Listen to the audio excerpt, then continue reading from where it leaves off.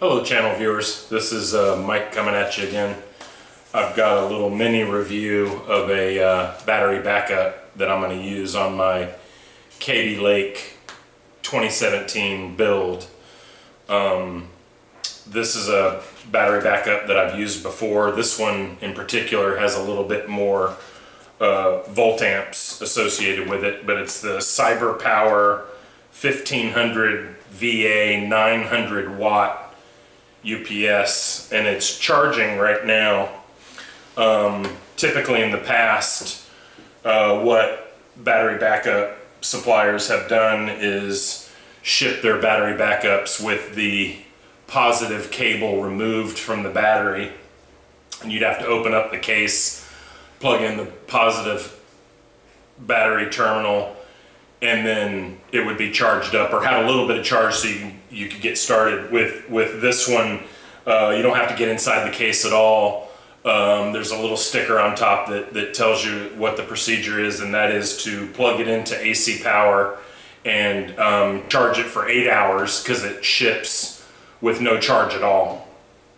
And uh, then you can use it after eight hours. In fact it won't even come on um, when I press the power button, I was able to film the LCD panel, so I've got I've got a picture of that. Um, but right now the display should be blank. Um,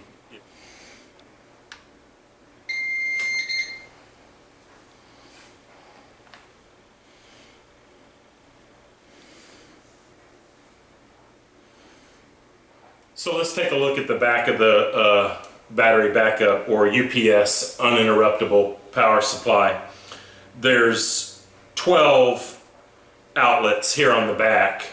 Um, all of them provide surge suppression with a uh, joule rating of 1500 uh, joule surge energy rating. Uh, how much energy the surge protector can absorb before it fails is what that describes a higher number in the joule rating indicates greater protection.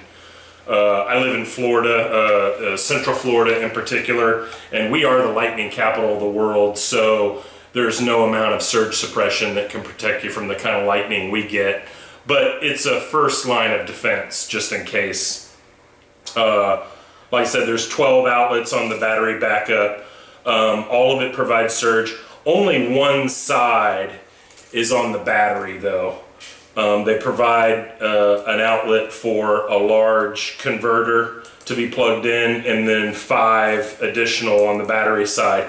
And these are simply just an extension of say like a strip outlet, which is much better built, but essentially that's what it is. Um, little bit of confusion uh, out on the internet about what you can plug into these things. Uh, you absolutely cannot plug in a laser printer. Uh, several things could happen. You could start a fire. Uh, you could uh, burn out the circuitry and the battery backup. And the reason is, is when you first power on a laser printer, um, the heating element in there has to heat up quickly and it draws a lot of amperage from the wall in order to do that. So uh, don't ever plug a printer into a, a laser printer into a UPS I don't even plug regular printers into UPS. There's no reason to have them on battery backup. If my power fails, I'll just reprint.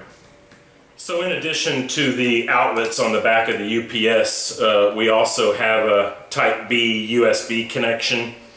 I think that's Type B. Uh, it's the square looking one, not the flat rectangular. And that connection is made to your computer where you'll use CyberPower's software to monitor test the UPS and during a failure, an extended failure, after say 30 minutes of, of battery backup, this unit will send a command to the software to shut your computer down so you come in for a soft landing on a power outage rather than have your computer just power off all of a sudden, which is uh, very, very bad. And for this particular build, um, we've made quite an investment on the hardware, so we wanted to protect it with a UPS that had the software for the soft landing power outages. So I love that feature about this. Um, there's also connections for coax and Ethernet. I don't use either one of those, never have, never will. I have tested this in the past and there's enough resistance in this circuitry to either slow down your internet on the coax side, on the WAN side of the internet, or slow down your internet on the Ethernet side of the WAN connection coming out of your modem. So I don't like using either one of these. Uh, there's also a um, circuit breaker release if for some reason the inside of this trips and bypasses everything. You can hit this reset button and that will uh, get you back up and running. So I really like this particular brand of battery backup, the CyberPower.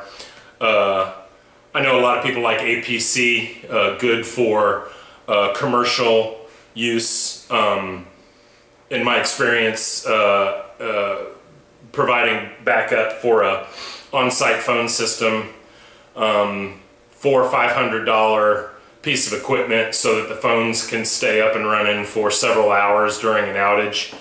Um, I think you're you're paying for that ability. I think when your power goes out, when you're using your computer, a 30 minute heads up before you have to power down is plenty of time for consumers. Obviously, in a business environment, I would choose another type of solution, but for a home home computer system, this is just perfect. I think we paid uh, 129 for this. There's a lot cheaper ones out there but because of the power requirements on the, the computer that we're building, um, a pretty high-end computer, we want to have uh, much more lead time in the power down uh, for, uh, for an outage. So that's why I like uh, CyberPower. And that is the Cyber Power 900 watt UPS.